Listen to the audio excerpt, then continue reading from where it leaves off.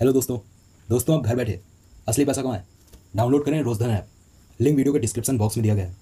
यह ऐप बहुत ही कमाल की है। और इस पर आप गेम्स खेलकर आर्टिकल्स पढ़कर और दोस्तों को रेफर कर कर अच्छा खासा पैसा अर्न कर सकते हैं। तो इस ऐप को अभी डाउनलोड कर लें। लिंक आपको वीडियो के डिस्क्रिप्शन बॉक्स में मिल जाएगा। हेलो दोस्तों। ब्लडी संडे यूट्यूब चैनल पर आपका स्वागत है। दोस्तों, आज फिर मैं आप सभी के लिए भूतों की कुछ और सच्ची डरावनी कहानियाँ लेकर आया हूँ। तो अगर आपको सच्ची डरावनी कहानियाँ सुनना पसंद है तो जल्दी से हमारे चैनल को सब्सक्राइब कर लीजिए। हम हफ़्ते में कई सारी सच्ची डरावनी कहानियाँ आपके लिए लाते हैं। तो बेल आइकन को ऑल पर सिलेक्ट करना बिल्कुल ना भूलें। तो चलिए दोस्तों, बढ़ते हैं अपनी आज की कहानियों की ओर। दोस्तों, हमारी पहली कहानी, हमारे ही एक सब्सक्राइबर दिलीप ने हमें भेजी है। तो आगे की कहानी मैं आपको दिलीप के पॉइंट ऑफ़ व्यू से सुनाऊँगा। मेरा नाम दिलीप है। ये मेरे साथ घटी बिल्कुल सच्ची घटना है। ये बात तब की है जब मैं अपने मामा के लड़के के साथ किसी ज़रूरी काम से एक बड़े शहर के लिए ट्रेन से निकला था। ट्रेन से सफ़र के लिए हम इतनी जल्दी में थे कि अपने साथ खाने पीने का सामान लाना ही भूल गए थे। ट्रेन से सफ़र के लिए हम सुबह दस बजे ही निकल चुके थे और करीब साढ़े दस बजे तक हमारी ट्रेन भी स्टेशन पर आ गई थी।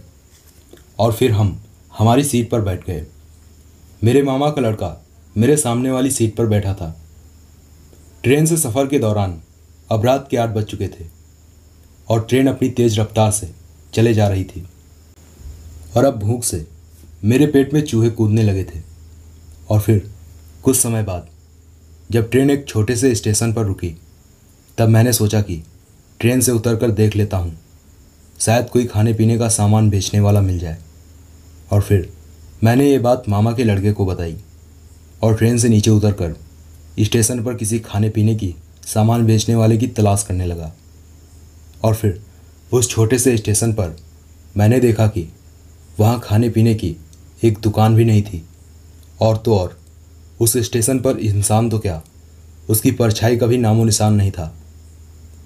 निराश होकर मैं वापस ट्रेन की तरफ़ पलटकर दो कदम आगे बढ़ा ही था कि तभी मेरे पीछे से मुझे एक आवाज़ आई। वो आवाज़ एक औरत की थी जो बोल रही थी कि तुम जिस चीज़ की तलाश कर रहे हो, वो मेरे पास है। उस औरत की आवाज़ सुनते ही मैं एकदम से रुक गया और मैंने पीछे पलट कर देखा। तो मैंने देखा कि मेरे पीछे मुझसे पाँच कदम की दूरी पर एक बूढ़ी औरत खड़ी थी, जिसके बाल सफ़ेद थे और खुले हुए थे, और उस बुढ़िया ने अपने गले में एक लोहे का कड़ा पहना हुआ था। खैर, मैंने उस औरत की बात पर हैरानी से उससे पूछा कि, तुम्हें कैसे पता? मुझे क्या चाहिए? मेरी बात पर वो बूढ़ी औरत पहले तो कुछ देर तक शांत रही और फिर बोली, तुझे जो चाहिए, उसके लिए तुझे मेरे पीछे पीछे मेरे साथ आना होगा। और फिर इतना बोलकर वो औरत स्टेशन से थोड़ी दूर पर बनी एक छोटी सी झोपड़ी की तरफ़ जाने लगी। उस औरत की आवाज़ काफ़ी भारी थी, मगर मैंने इन सब चीज़ों पर ध्यान नहीं दिया, क्योंकि भूख से मेरी हालत ख़राब हो रही थी। और फिर मैं भी उस औरत के साथ उसके पीछे पीछे जाने लगा। मगर अभी मैं उसके पीछे पीछे दो चार कदम आगे बढ़ा ही था कि तभी मैंने जो देखा, वो देखकर मेरे पसीने छूट गए और मैं पसीने से लथपथ हो गया। मैंने देखा कि उस औरत के पैर उल्टे थे और मेरी ओर मुड़े हुए थे। और तो और, उसके पैरों पर सिर्फ़ दो उंगलियाँ ही थी, जो कि बेहद ही अजीब थी। वो सब देखकर मैं इतना डर गया कि मेरे हाथ पाँव फूलने लगे और फिर तभी चलते चलते वो बूढ़ी औरत अचानक से मेरी ओर पलटी और फिर मैंने जो देखा, वो देखकर मेरी जान हलक में अटक गई। मैंने देखा कि उस बूढ़ी औरत का चेहरा अब बेहद ही भयानक हो चुका था और उसकी आँखें सफ़ेद और चमकीली थी, बिल्कुल किसी सफ़ेद खोपड़ी की तरह। मैं उस भयानक बूढ़ी औरत को देखकर कुछ समझ पाता। उससे पहले वो भयानक बूढ़ी औरत गुस्से से चीखती हुई मेरी तरफ़ बढ़ने लगी। वो अरबी भाषा में कुछ बड़बड़ाती हुई मेरी तरफ़ आ रही थी और फिर उस भयानक बूढ़ी औरत को अपनी तरफ़ आता देख मैं भी भागने लगा। भागते भागते मैं ट्रेन के पास पहुँच गया और मैं ट्रेन पर चढ़ने ही वाला था कि तभी उस भयानक बुढ़िया ने मेरी गर्दन पकड़ ली और अपने बड़े और नुकीले नाखून मेरी गर्दन पर धंसा दिए। दर्द और खौफ से मेरी चीख निकल पड़ी। और फिर तभी वो भयानक बुढ़िया मुझे घसीट कर उसी छोटी सी झोपड़ी की तरफ़ ले जाने लगी। मगर तभी ट्रेन से मेरे मामा का लड़का मेरी चीख सुनकर स्टेशन पर आ गया। और फिर उसने भी उस भयानक बूढ़ी औरत को देखा। और फिर फ़ौरन उसने उस बूढ़ी औरत को धक्का दे दिया, जिससे वो बूढ़ी औरत मुझसे कुछ दूर हो गई। और फिर तभी मेरे मामा का लड़का मुझे खींचकर मेरे साथ ट्रेन की तरफ़ भागने लगा। मगर तभी वो भयानक बुढ़िया अचानक से हमारे सामने आ गई और फिर उसने गुस्से से मेरे मामा के लड़के की गर्दन पकड़ ली और उसे हवा में उठाकर ज़मीन पर पटक दिया। और फिर वो भयानक बुढ़िया अजीब तरह से गुर्राते हुए मेरे मामा के लड़के के ऊपर बैठ गई और बेरहमी से उसका गला दबाने लगी। वो सब देखकर मेरे रोंगटे खड़े हो गए और मैं अपनी जान हथेली पर लेकर वहाँ से भागा और ट्रेन पर चढ़ गया। मुझे पता था कि मैं अकेले मेरे मामा के लड़के की कोई मदद नहीं कर सकता था। इसलिए ट्रेन पर मैंने ये बात और लोगों को बताई और फिर उन्हें अपने साथ लेकर मैं स्टेशन पर उतरा और फिर मैंने जो देखा, वो देखकर मेरे पैरों के नीचे से ज़मीनी खिसक गई। मैंने देखा कि मेरे मामा का लड़का और वो भयानक बुढ़िया स्टेशन पर दूर दूर तक कहीं दिखाई नहीं दे रहे थे। और तो और, वो छोटी सी झोपड़ी भी वहाँ नहीं थी। उसके बाद मैंने मेरे मामा के लड़के को बहुत ढूंढा, मगर वो मुझे कहीं नहीं मिला। और ना ही मुझे वो भयानक बुढ़िया फिर कभी दोबारा मिली। पुलिस ने भी थक हार कर इस केस को बंद कर दिया। दोस्तों, आज इस घटना को हुए। सत्रह साल हो चुके हैं।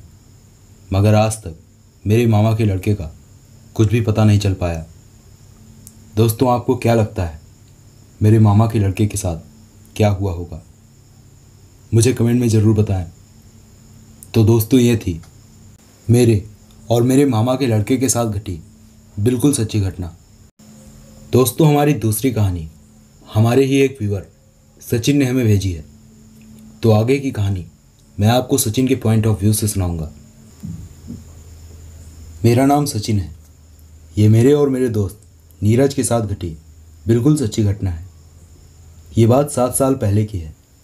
मैं और नीरज आर्मी की तैयारी कर रहे थे। इसीलिए हम दोनों हर रात गाँव के बाहर के कच्चे रास्ते पर दौड़ लगाने जाया करते थे। उस रात भी हम दोनों दौड़ लगाने के लिए गाँव के बाहर के कच्चे रास्ते पर गए हुए थे। मगर हमें क्या पता था कि वो रात हमारी ज़िंदगी की सबसे बुरी रात साबित होने वाली है। उस रात जब मैं और नीरज गाँव के बाहर के कच्चे रास्ते पर दौड़ रहे थे, तब पता नहीं क्यों मुझे बहुत अजीब सा महसूस हो रहा था। मुझे ऐसा लग रहा था जैसे यहाँ सिर्फ़ मैं और नीरज ही नहीं, हमारे साथ और भी कई लोग हैं। जो हमारा पीछा कर रहे हैं। मैंने कई बार पीछे पलट कर भी देखा, मगर मुझे मेरे पीछे दूर दूर तक कोई नज़र नहीं आया। और फिर कोई हमारा पीछा कर रहा है। मैंने इसे अपना वहम समझा और दौड़ना जारी रखा। और फिर दौड़ते हुए मैं नीरज से आगे निकल गया। और फिर कुछ दूर आगे जाने के बाद मुझे नीरज की चीख सुनाई दी। नीरज की इतनी भयानक चीख सुनकर मैं दौड़ते हुए एकदम से रुक गया और मैंने पीछे पलट कर नीरज की तरफ़ देखा। तो मैंने देखा कि कई सारे काले साए नीरज को घसीट कर गाँव के रास्ते के बाईं ओर फैले, घने जंगलों में ले जा रहे हैं। और नीरज बार बार चीखे मारता हुआ मुझे मदद के लिए बुला रहा था। और फिर तभी नीरज हमेशा के लिए शांत हो गया और उसकी मौत हो गई। चाँद की रोशनी में मैंने देखा कि एक काले साय ने नीरज का सर उसके धड़ से अलग कर दिया और तड़पते हुए नीरज ने उसी वक्त दम तोड़ दिया। वो सब देखकर मेरे रोंगटे खड़े हो गए और मेरा शरीर पीला पड़ गया और मैं बेसुध होकर ज़मीन पर गिर पड़ा। और फिर जब मुझे होश आया तो मैंने देखा कि रात अब और गहरी हो चुकी थी। और मौसम बदलने लगा था। काले बादल छाने लगे और फिर तभी मुझे नीरज की आवाज़ सुनाई दी। भाई उठ, भाग जा यहाँ से, वरना ये पिसाच तुझे भी मारकर खा जाएँगे। अब मैं और देर तक इन्हें नहीं रोक सकता। भाग जा यार तू। नीरज की बात सुनकर मैं फ़ौरन वहाँ से अपनी जान हथेली पर लेकर भागने लगा। हैरानी की बात तो यह थी कि मुझे नीरज की बस आवाज़ ही सुनाई दे रही थी। जबकि नीरज मुझे चारों तरफ़ दूर दूर तक नज़र नहीं आ रहा था। और फिर भागते भागते मैं अपने घर पहुँच गया। मगर मैंने ये बात किसी को नहीं बताई और चुपचाप अपने कमरे में जाकर लेट गया। उस रात डर और खौफ से मुझे नींद नहीं आई और फिर मुझे करीब एक महीने तक लगातार बुखार भी रहा। नीरज के परिवार वालों ने उसे खूब ढूंढा, लेकिन पिछले सात सालों में आज तक नीरज का कुछ पता नहीं चला। नीरज की मौत मेरी आँखों के सामने ही हुई थी। जब एक नरभच्ची पिसाच ने उसका सर उसके धड़ से अलग कर दिया था। मगर हैरानी की बात तो यह है कि आज तक किसी को उसकी लाश तक का पता नहीं चला। तो दोस्तों, ये थी मेरे साथ घटी बिल्कुल सच्ची घटना। हेलो दोस्तों दोस्तों कैसे हो यार आप सब? तो दोस्तों, कैसी लगी आपको ये कहानियाँ? मुझे नीचे कमेंट करके ज़रूर बताना यार। आपकी कमेंट का मैं बेसब्री से इंतज़ार करता रहता हूँ। दोस्तों, आगे की कहानियाँ हमारे पिछले एपिसोड की हैं। अगर आपने वो कहानियाँ सुन रखी हैं तो आप इस वीडियो को यहीं पर स्किप कर सकते हो। अगर आपने वो कहानियाँ अभी तक नहीं सुनी है तो आप इस वीडियो को आगे कंटिन्यू कर सकते हो।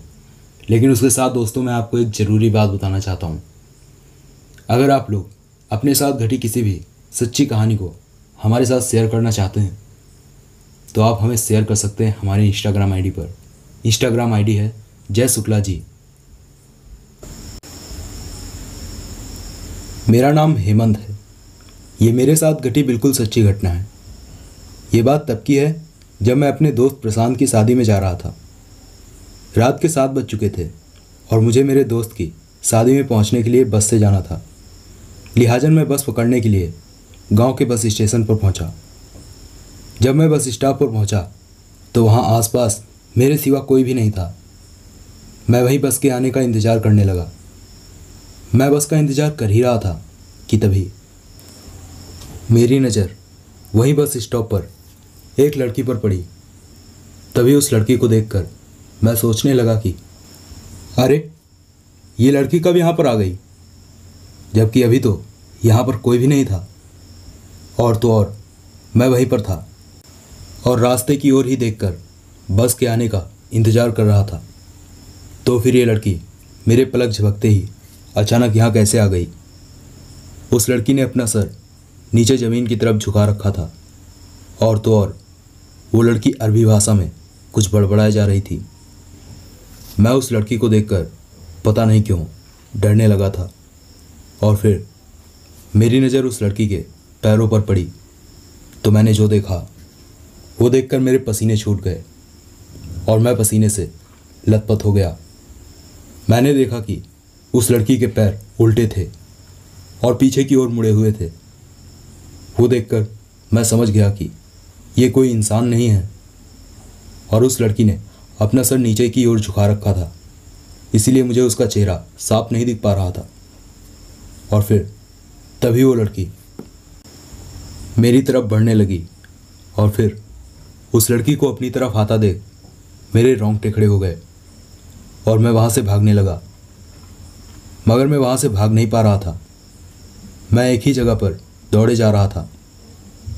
और फिर तभी वो लड़की अचानक से मेरे सामने आ गई और फिर मैंने उस लड़की का भयानक चेहरा देखा। उस लड़की का भयानक चेहरा देखते ही मेरी जान हलक में अटक गई और सकपका कर मैं ज़मीन पर गिर पड़ा। मगर तभी उस लड़की ने एक झटके से मेरी गर्दन पकड़ ली और मुझे हवा में ऊपर टांग दिया और फिर वो लड़की ज़ोर ज़ोर से हंसने लगी और उस लड़की ने मेरी गर्दन इतनी बेरहमी से दबा रखी थी कि कुछ ही समय में मेरी सांस अटकने लगी और मेरा शरीर पीला पड़ने लगा। और फिर तभी मुझे रास्ते पर बस आती दिखी और उस बस को देखकर वो भयानक लड़की मुझे ज़मीन पर पटक कर वहाँ से गायब हो गई। बस ड्राइवर ने भी उस भयानक लड़की को देखा था और उसने फ़ौरन बस रोकी और मुझे बस में बिठाकर उसने बस को फुल स्पीड में उस जगह से आगे निकाल दिया। रास्ते पर उस बस ड्राइवर ने बताया कि वो एक लड़की की भटकती आत्मा थी जिसकी इसी बस स्टॉप पर, एक बस के नीचे आ जाने से मौत हो गई थी। तब से उसकी आत्मा इसी बस स्टॉप पर भटक रही है। मगर बस को देखकर वो लड़की की आत्मा गायब हो जाती है। आगे उस बस ड्राइवर ने बताया कि, और जब उस लड़की की भटकती आत्मा को इस बस स्टॉप पर कोई अकेला इंसान दिखता है, तब वो उस पर हावी हो जाती है और उसे जान से मारकर उसका खून पीती है। उस बस ड्राइवर की बात सुनकर मेरे रोंगटे खड़े हो गए। और फिर मैंने मेरी जान बचाने के लिए उस बस ड्राइवर को धन्यवाद कहा। आगे मैं अपने दोस्त प्रशांत की शादी में पहुँचा और फिर मैंने उसे अपने साथ घटी सारी घटना के बारे में बताया। मेरी बात सुनकर प्रशांत भी बेहद ही डर गया। खैर, मैंने उसे उसकी शादी की बधाई दी और फिर अगले ही दिन मैं वापस अपने घर लौट आया। मगर इस बार मैंने बस की बजाय ट्रेन से सफ़र किया। वैसे तो इस घटना को हुए अब काफ़ी वक्त गुजर गया है, मगर आज भी उस दिन की घटना को याद करके मेरे रोंगटे खड़े हो जाते हैं। तो दोस्तों, ये थी मेरे साथ घटी बिल्कुल सच्ची घटना। दोस्तों, हमारी दूसरी कहानी, हमारे ही एक व्यूअर अभिनेश ने हमें भेजी है। तो आगे की कहानी मैं आपको अभिनेश के पॉइंट ऑफ़ व्यू से सुनाऊँगा। मेरा नाम अभिनेश है। ये मेरे और मेरे दोस्त विवेक के साथ घटी बिल्कुल सच्ची घटना है। ये बात तब की है जब मैं और विवेक देर रात घर लौट रहे थे। रास्ते पर चलते हुए अब हम गाँव के बाहर के कब्रिस्तान तक पहुँच चुके थे। कब्रिस्तान के पास पहुँचते ही मैंने मेरे दोस्त विवेक से कहा कि, भाई और तेज चल, ये जगह ठीक नहीं है। मेरी बात सुनकर विवेक हंसने लगा और मुझसे बोला कि, क्या यार, अव्वल दर्जे का डरपोक है तू। ये कब्रिस्तान देखकर डर रहा है। अबे भूत वूत कुछ नहीं होते। और इतना कहकर हँसते हुए विवेक ने कब्रिस्तान के सामने थूक दिया। और फिर विवेक मुझसे बोला कि, देख, इस कब्रिस्तान के सामने मैंने थूक भी दिया और मैं यही हूँ। आज देखते हैं कि भूत मेरा क्या उखाड़ते हैं। दोस्तों, आपको तो पता ही है कि ऐसी जगहों पर थूकने या फिर पेशाब करने पर उसका अंजाम कितना भयानक हो सकता है। विवेक की इस हरकत से मैं बेहद ही घबरा गया और मैं समझ गया कि अब कुछ बहुत गलत होने वाला है। और फिर मैं विवेक को घसीट कर गाँव ले जाने लगा। मगर अभी मैं विवेक को लेकर कुछ दूर आगे बढ़ा ही था कि तभी मैंने जो देखा, वो देखकर मेरे पसीने छूट गए। और मैं पसीने से लथपथ हो गया। मैंने देखा कि वो कब्रिस्तान भी हमारे साथ ही चल रहा था। और फिर मैं और विवेक दोनों ही बेहद घबरा गए और पूरी जान लगाकर हम वहाँ से भागने लगे। और फिर भागते भागते मैं गाँव पहुँच गया। और फिर मैंने विवेक को आवाज़ देते हुए मेरे पीछे देखा। तो मैंने देखा कि विवेक मेरे साथ नहीं था। वो देखकर मैं बेहद ही घबरा गया। और फिर मैंने फ़ौरन सारी बात गाँव के लोगों को बताई। मेरी बात सुनकर सभी गाँव वाले फ़ौरन उस कब्रिस्तान की तरफ़ भागे। मैं भी गाँव वालों के साथ कब्रिस्तान की तरफ़ भागा और फिर जब मैं सभी गाँव वालों के साथ कब्रिस्तान के पास पहुँचा तो मैंने जो देखा, वो देखकर मेरे रोंगटे खड़े हो गए। मैंने देखा कि विवेक की मौत हो चुकी है और उसकी लाश कब्रिस्तान के सामने इतनी विभस्त हालत पर पड़ी थी कि उसको एक नज़र देख पाना भी बहुत मुश्किल हो रहा था। विवेक की आँखों की पुतलियाँ नहीं थी और उसके मांस के लोथड़े रास्ते पर इधर उधर बिखरे पड़े थे। दोस्तों, वैसे तो इस घटना को हुए अब काफ़ी वक्त गुजर गया है, मगर आज विवेक की मौत पूरे गाँव में एक रहस्य बनी हुई है। दोस्तों, आपको क्या लगता है? विवेक की मौत कैसी हुई होगी? हमें कमेंट में ज़रूर बताएँ। तो दोस्तों, ये थी मेरे और विवेक के साथ घटी बिल्कुल सच्ची घटना। मेरा नाम प्रकाश है। ये मेरे साथ घटी बिल्कुल सच्ची घटना है। ये बात आज से पाँच साल पहले की है। मैं एक नए घर पर शिफ्ट हुआ था और उस दिन, उस घर पर मेरी वो पहली रात थी। इससे पहले मैं जिस घर पर रह रहा था, वहाँ पर भी मैं अकेला ही रहता था। मगर उस घर का किराया बहुत ज़्यादा था और मैं किसी सस्ते और अच्छे घर की तलाश में था। और फिर जिस घर में मैं शिफ्ट हुआ, वो घर मुझे बेहद ही सस्ते दामों पर किराए पर मिल गया था। वो घर बेहद ही बड़ा था और इतना बड़ा और बेहतर घर इतने कम किराए पर मिल जाने की तो मुझे कभी उम्मीद ही नहीं थी। उस घर पर जाने से पहले मुझे इस घर के आसपास रहने वाले लोगों से पता चला था कि वो घर सही नहीं है और कई लोगों की उस घर पर मौत हो चुकी है और तब से ये घर बंद पड़ा है। आसपास के लोगों की बातें सुनकर सच बताऊँ, मैं भी बहुत घबरा गया था। मगर मैंने उस घर पर रहने का प्लान कैंसिल नहीं किया। और यही मेरी सबसे बड़ी गलती थी। उस रात जब मैं उस घर पर सो रहा था, तब मुझे ऐसा लगा कि कोई मेरे ऊपर आकर बैठ गया है। और फिर अचानक मेरा शरीर काफ़ी भारी होने लगा, इतना कि मैं सांस भी नहीं ले पा रहा था। और फिर तभी हड़बड़ा कर मैंने अपनी आँखें खोली तो मैंने जो देखा, वो देखकर मेरे पसीने छूट गए। और मैं पसीने से लथपथ हो गया। मैंने देखा कि मेरे ऊपर एक शैतान बैठा था, जो बेहद ही आक्रामक और भयंकर था। उस शैतान के सिर पर एक सींग निकला हुआ था और उस शैतान की आँखें लाल थी, बिल्कुल किसी लाल बल्ब की तरह। और तो और, उस शैतान के शरीर पर बेहद ही बड़े बाल थे और उस शैतान के दांत बेहद बड़े और नुकीले थे। और उसके मुँह से बाहर निकले हुए थे। और फिर तभी उस शैतान ने गुस्से से मेरी गर्दन पकड़ ली और मुझे हवा में उठाकर उसने ज़मीन पर पटक दिया। और फिर वो वहाँ से गायब हो गया। उस वक्त मेरी हालत इतनी ख़राब हो गई थी कि मैं ठीक से उठ भी नहीं पा रहा था। मगर फिर हिम्मत करके मैं उठा और अपनी जान हथेली पर लेकर उस घर से बाहर भागने के लिए दौड़ा। मगर अभी मैं कुछ दूर भागते हुए पहुँचा ही था।